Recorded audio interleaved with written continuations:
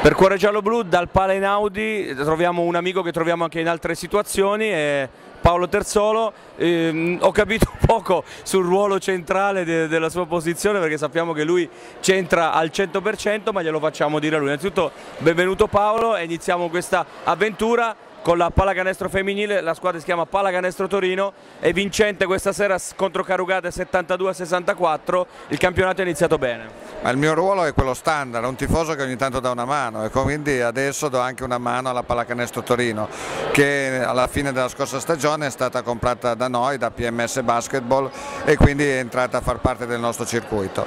Direi che quest'anno un po' forti della stagione fatta dall'anno scorso che anche loro sono arrivati a una partita dalla Serie A, abbiamo aumentato un po' il roster anche a livello qualitativo inserendo un playmaker americano e una mezza lunga di talento come la Riccardi e a questo punto ci troviamo ad aver fatto le prime tre partite della stagione e aver portato a casa tre vittorie. Continuiamo a sviluppare anche tutto quello che è l'attività del settore giovanile, anche col marchio Libertas Moncaglieri che invece è stata una, una società che abbiamo acquistato 5-6 anni fa e di conseguenza vogliamo diventare una realtà significativa per il Piemonte anche nel femminile. Faccio vedere che ho studiato, delle prime tre vittorie di Torino lo possiamo dire, detto c'è una prestigiosa a Stradella contro Broni, considerato una delle quattro squadre forse più forti del campionato insieme a Genova e Sesto San Giovanni. Bah, sì, sicuramente il nostro girone è quello più competitivo, essendo solo quattro le, le, squadre che passeranno al secondo turno è chiaro che ce la dobbiamo giocare, Broni è sicuramente una gran bella squadra, come una gran bella squadra San Giovanni, come Sesto San Giovanni, come del resto è un'ottima squadra anche Genova. Speriamo di dire la nostra fino alla fine del girone di andata, o perlomeno di questa prima fase, per poi tentare di fare un secondo girone con la possibilità di fare qualcosa di più.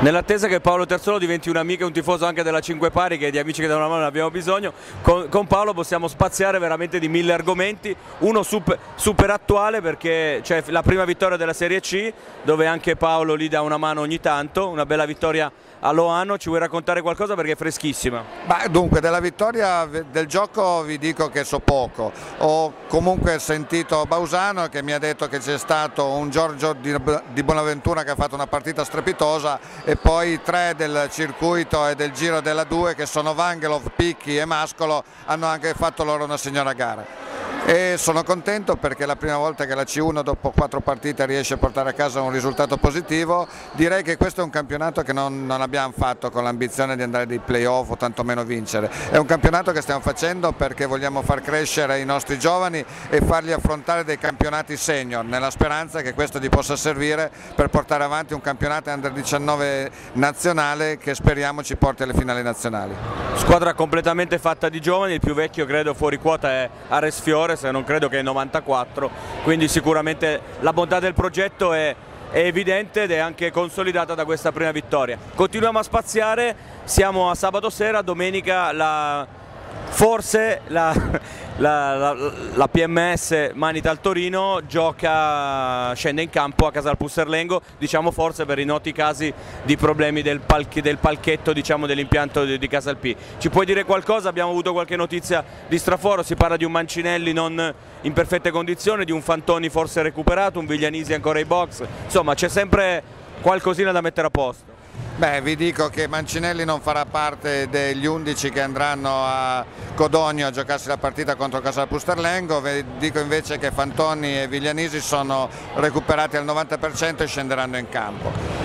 Direi che il nostro roster che ha dimostrato nella fase precampionato ottima qualità e ottimi risultati, ha fatto questi due scivoloni, una Biella e una Trapani, ma ci sta, sono due trasferte, sono due momenti particolari. Io continuo a essere fiducioso e sono convinto che domani tutti i ragazzi e i tecnici faranno il possibile per portare a casa il primo risultato utile. Ovviamente noi ci accodiamo a questo ottimismo, penso che se tu sei il primo tifoso io sono il secondo, quindi non possiamo, direi che l'alchimia ce l'abbiamo bene. Quindi ringraziamo Paolo di questa chiacchierata veramente a 360 gradi, lo rivedremo di fronte ai nostri microfoni di Cuore Giallo Blu su 100 argomenti Paolo. Assolutamente sì, sempre disponibile. Grazie mille, ciao. Ciao. Grazie.